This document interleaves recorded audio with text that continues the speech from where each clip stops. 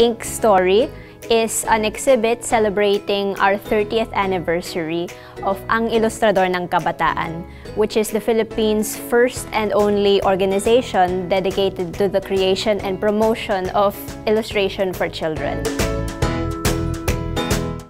Hello, I'm Nina Martinez and I am the president of Ang Ilustrador ng Kabataan in this year 2021. When you come into our exhibit, you're going to see a timeline about ink starting from when we were founded in 1991. From when we were declared an organization, to the executive board, to the ink logo being born. It was designed by Endo Pascasio and you can see him right here. His name is Pen Pen and he's going to follow us around for our exhibit today. When you look at the timeline, just look up and you'll be able to see works, new and original, by our various members. For this exhibit, we asked our members to create new works um, with the prompt, What is your ink story? For some, they interpreted this as what was your experience in our organization.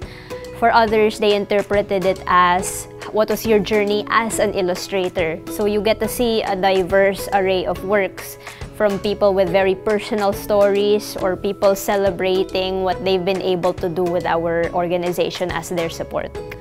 What's interesting is that members from different generations came to participate. So you're going to see here on the captions, Inky since 2020 or Inky since 1994. So people from every year of the organization came to celebrate. If you look here, you're going to see the papers from the workshop that started it all. A few illustrators were invited to a workshop by Goethe Institute run by Reinhard Michl, who was a distinguished German illustrator for children's books. There wasn't a plan to make an organization at the time. It was to just learn from a master. And yet, the members there, realizing they had common goals and common ideas, decided to create ang Ilustrador ng Kabataan. You can see the results of that workshop here, the photos from their activities, their certificates, and the little books that they created.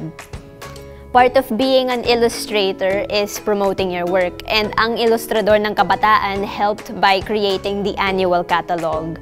This was a compilation of the works of each member every year to be distributed to publishers, clients, agencies, whoever might be able to hire our illustrators. So it started out as something that was just photocopied and spiral bound and it was snail mailed around.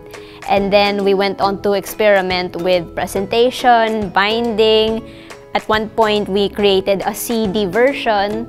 And now we present it in both a printed bound and a digital version so that it's more accessible to all and everybody can see the talent in the organization. Throughout the years, we've been collaborating with different NGOs and publishers as an organization.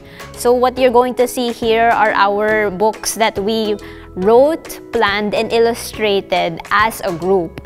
So rather than seeing a single name credit for the illustrator, you're going to see the logo of Ang Ink. So you'll see here our collaboration with World Wildlife Fund, our collaboration with Canvas, and so many more. We work very well individually but also work well together. As you go around the exhibit, you'll see all of these larger-than-life characters on the walls, peeking out from the corner. And that's just the wonderful branding done by our members to show how joyful and playful this celebration is. They all have different personalities. I hope you find one that you like best. This is something that's very special. When the organization was founded in 1991, they wrote a constitution, the very first of Ang Ink. And all of the founding members signed the last page. You can see each of their names here. Many of them are still active in our activities each year, but all of them are still loved by the organization. One of the most exciting parts is this mural where you can see evidence of all of our gatherings over our 30 years as an illustration org. So you can see our monthly meetings which were every first Saturday of the month. where we would hand draw newsletters and people would add whatever they wanted. And then this was simply Xeroxed and then snail mailed around to several members so that it could grow and change with every single delivery. You can see postcards that we drew and uh, passed around. You can see photos from our book fairs, our exhibits. You can even see letters that we wrote each other, merchandise that we created for our events like these tote bags which are still available, this t-shirt, and basically you can see how much love has been poured into the organization over 30 years.